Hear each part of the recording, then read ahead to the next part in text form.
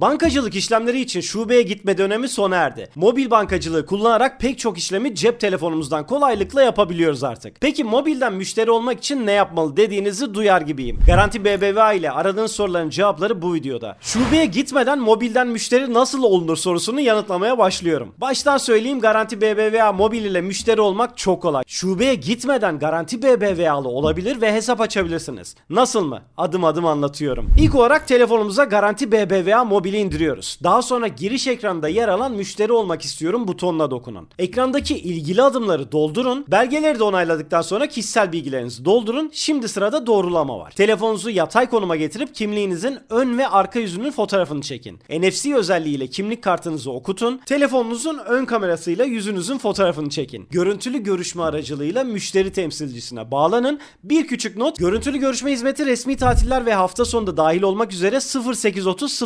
0100 arası veriliyor. Yani Garanti BBVA sizin için sürekli çalışıyor. Sözleşmelerinizi onaylayın, parolanızı oluşturun ve işte bu kadar kolay. Merak edilen soruların cevapları ve Garanti BBVA'daki yenilikleri kaçırmamak için abone olmayı unutmayın. Bir başka videoda görüşmek üzere. Şimdilik hoşçakalın, kendinize iyi bakın.